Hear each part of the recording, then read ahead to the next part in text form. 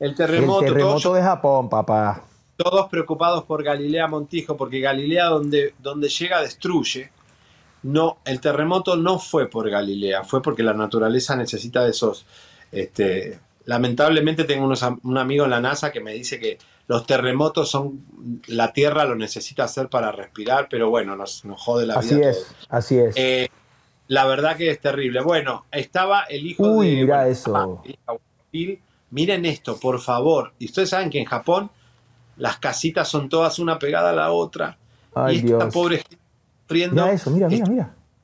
Buenfil, eh, Nico, este, bueno, no se encontraba en la ciudad, eh, fue, eh, no, no fue, fue la península, esto, bueno, así que bueno, nada, este, pero qué bueno, video- qué pavor. ¿Sabes que aquí también tembló? Aquí tembló hace unos días, mentira, ano- anteanoche tembló, tembló como Ah. 4.1 por allá por como a 100 millas de mi casa. Se movió, se movió el departamento, se movió un poco. qué impresionante, ¿eh? qué fuerte. ¿Y quién estaba ahí? Tenemos un video, tenemos un video de Erika Buenfil que estaba en Japón y tenemos una, un testimonio de ella después del, del terremoto. Vamos a ver qué, qué es esto. Aquí ando, chavalines. Todo bien. Yo no estaba en esa ciudad por suerte, pero sí vi que tembló horrible, horrible, horrible. Ah, en Ishibuya, algo así se llama. Sí tembló feo. Pero yo, bien. Aquí no tembló nada. Les mando un becerro y gracias por preocuparse. Estoy bien, gracias a Dios. Gracias por la preocupación. En Tokio, todo bien. Estoy bien, gracias a Dios. Gracias por la preocupación. En Tokio, todo bien. Estoy bien, gracias a Dios. Me encantó la repetición. un robot. Es la Matrix. Es la inteligencia artificial de Chimenolay. Oye, eh, no, pero qué susto. eh, La verdad que te vas a Japón, te gastas un dinero para ir allá y de golpe, ¡pum! Te agarra el terremoto. Uy, no, qué fuerte, Dios mío. Pero todo el mundo estaba preocupado por el- el- las prótesis de Galilea Montijo. Parece que las siliconas de Galilea tuvieron un temblor, como que eh, se movieron y una silicona se le fue al cerebro, Ay, eh, pero no, no. Eh, bueno, y estaba también este Uckerman, este eh, Christopher, que también nos preocupamos por ellos, pero eh, eran los famosos mexicanos que estaban en, en- en Japón. ¿Qué pasa? ¿Se puso de moda ir a Japón?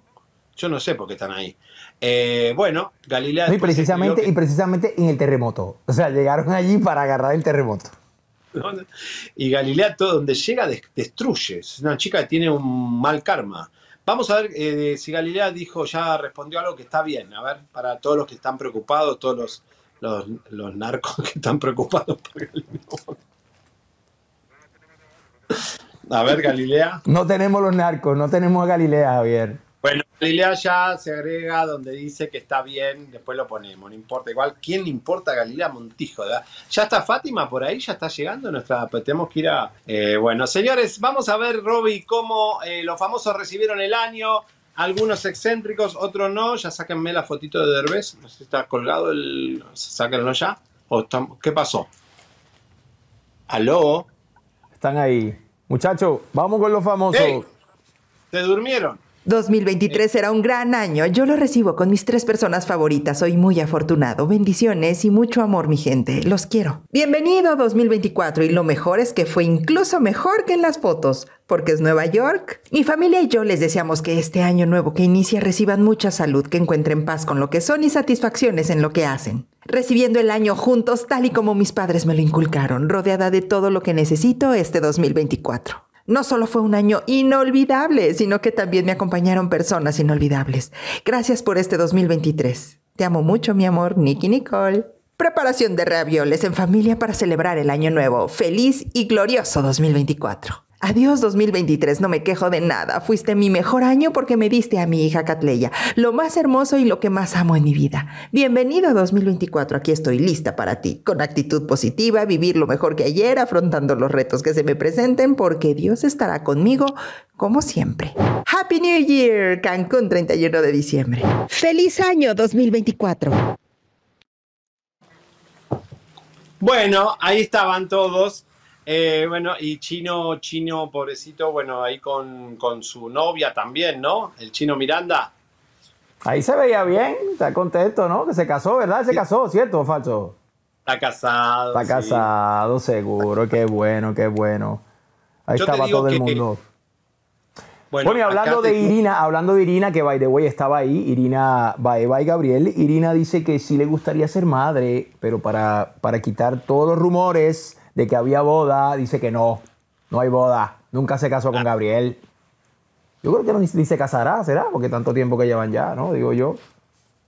No, va, no hay nada. ¿Qué dice?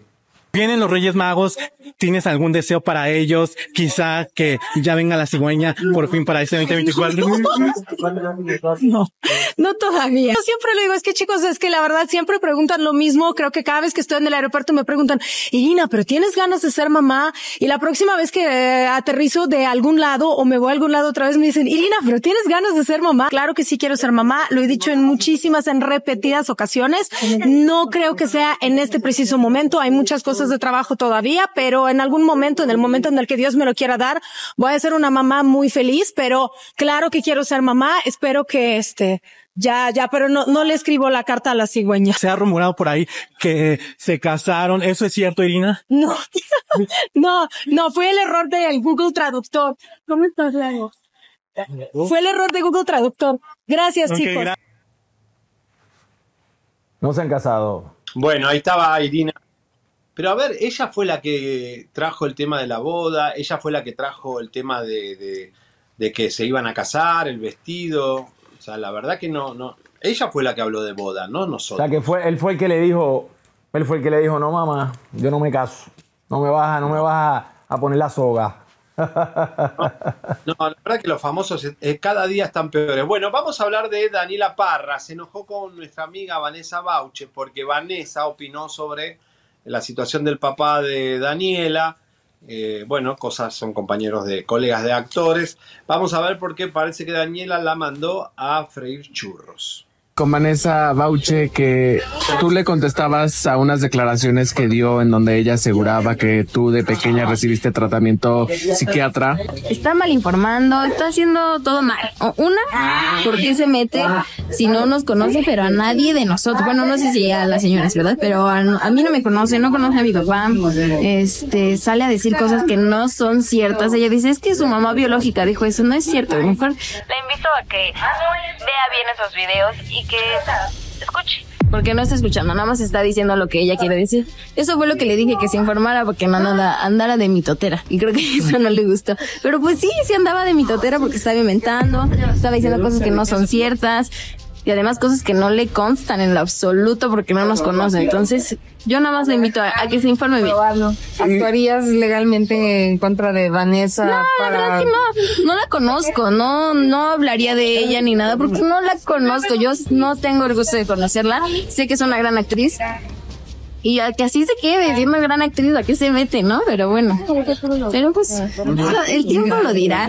Y a ella de verdad que le invito a que vea bien, escuche bien lo que está pasando, no es nada más hablar por hablar. Se lo dije a ella, no es primero la víctima, es primero la verdad. No es primero la víctima, es primero la verdad. Claro. Entonces, pues venga, también ella es activista, dice que lleva 20 años, entonces pues que haga las cosas bien, vamos a unirnos todos bien, no nada más por conveniencia. Wow, qué fuerte. Que no se haga la víctima. No te hagas la víctima, dice. No, bueno, ay Dios mío, cómo empezó el año, todos peleándose. Señores, en minuto vamos con todo lo de Gloria Trevi. No solo que ella demanda a Sergio Andrade, sino también que va, está siendo demandada Gloria Trevi otra vez. Y también Wow. Mari Boquitas, Roba, acabo de hablar hace poquito, hace minutos con Mari Boquitas, tenemos novedades de última hora. Eh, vamos a decirle por su nombre, Raquenel, como, como se llama, pero vamos a hablar de todo ese caso, el tema, y bueno, Silvia Pinal también casi nos da un susto, pero Alejandra Guzmán aprovechó eso para lavar su imagen. Frida está en un momento muy difícil, estuve hablando con Frida, Sofía, la cosa está caliente. Ay, que, eso, eh, que eso de Alejandra Guzmán estuvo fuerte. Eso estuvo fuerte. Mira, pero y las comadritas, las comadritas de los compadritos que están aquí, somos 4.300 ya. Vamos a saludarlos, ¿no? ¡Eh! Muy bien. ¿Qué dicen?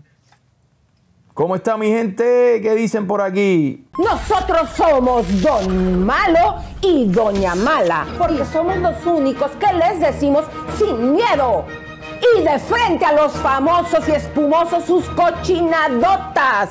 Así que suscríbete. Caiga quien caiga. Periodismo de alto impacto, sin fronteras y sin amiguismo. ¡Vamos! Compártete. Ven al bombardeo de lunes a viernes en la brújula de la farándula chisme, no like y campanita tan tan. Premianos con tu like. Nuestra misión 24/7 es informarte. Breaking News con nuestra red de cucaraches informantes.